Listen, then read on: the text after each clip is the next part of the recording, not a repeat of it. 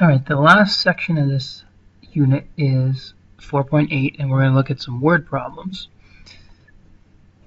Now this word problem here is a little more complicated than the ones you've seen so far in this course, so um, it's worth doing a, a video on.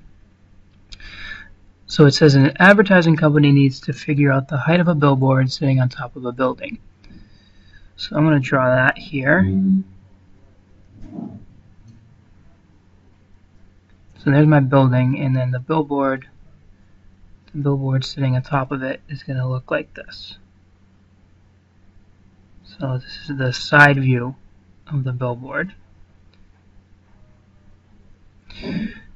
And so Lisa's somewhere on the ground over here, and she looks up at it and notices that the angle of elevation,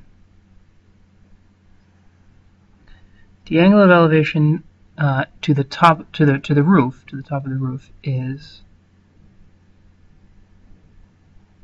oops that's not what I meant to do. I didn't need to do that either. Let's try this again. Angle of elevation to the roof is 28 degrees and the angle of elevation to the top of the billboard is 35 degrees. So there's two different angles that we're looking at here one is to the top of the billboard itself, and one is just to the top of the roof.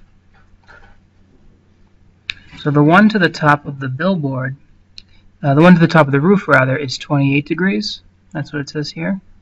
So I'm going to label that 28 degrees. And the angle of elevation to the top of the billboard is 35 degrees. So I'm going to put that in blue and just call that 35 degrees. And so now what are we trying to find? It says if she's standing 150 feet from the base of the building, find the height of the billboard. Alright, so the height of the billboard is going to be represented by, we'll call it, uh, we'll call it H. So we need to find the height of this little red basically this little red section of the triangle. now, there's a couple ways to think about this, but one of the things you should notice in this diagram is that there are two right triangles. There are two right triangles, and they're, they're kind of like sitting on top of each other, but if you separated them, if you separated them, they'd look like this. Let's say this is the bigger one. So that it's the bigger one, so that means that's the 35 degrees, and that's 150. And then there's the one that's a little smaller,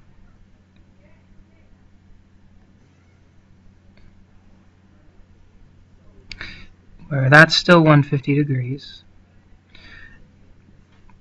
but that's 23 degrees.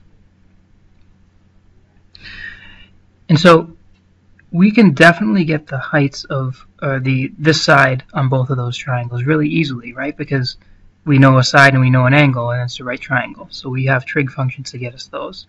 So that's a useful observation because if I can get this whole side here, let's see if I can get a nice arrow in here. If I can get this height here, all I need to do is subtract this height here and if I subtract those two distances I'll be left with that distance h which is in fact the height of the billboard. So I'm going to call, I guess I'll call the black line, uh, we can call it anything, I'll call it A and we'll call the, the smaller one B. So hopefully you'll agree that uh, A equals b plus h, right? Remember, a is supposed to be the length of that whole black line, which means that h is equal to a minus b. And if we just find what a is, and then what b is, and then subtract them, we'll get our answer. So this should be pretty straightforward. The sine of 35 degrees is a over 150. So I can solve for a.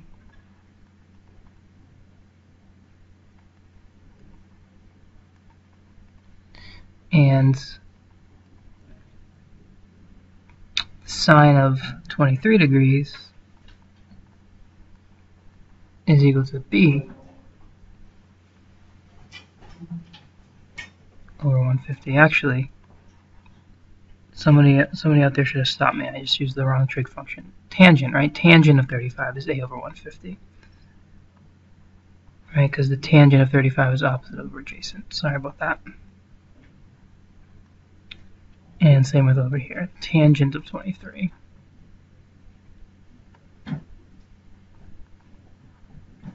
Tangent of 23 is b over 150.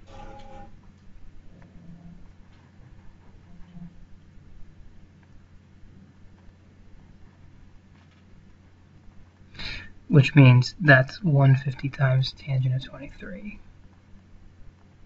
is equal to b. And so now we just have to put these in our calculators.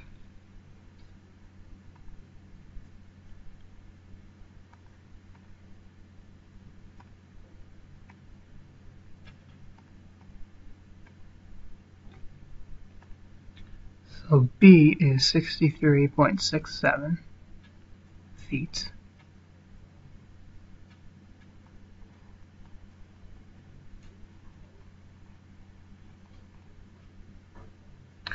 And A would be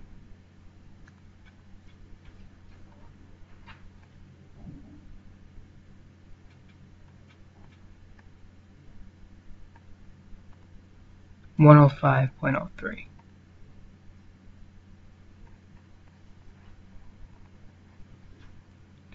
So now that we know A and B, we can get the height of the billboard really easily. We just do the subtraction. 105 0.03 minus 63.67 and when we do that we get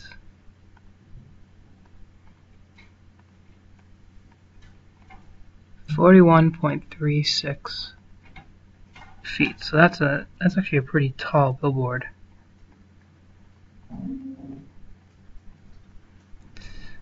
But in any event, so these problems are a little less direct, right? They're a little less straightforward. You kind of have to combine the skills you have from the word problems we've done before uh, in kind of a new way to, to find parts of the triangle that aren't maybe the whole side. So there's one example of the type of problems you'll you'll see uh, tomorrow when we, we get some practice.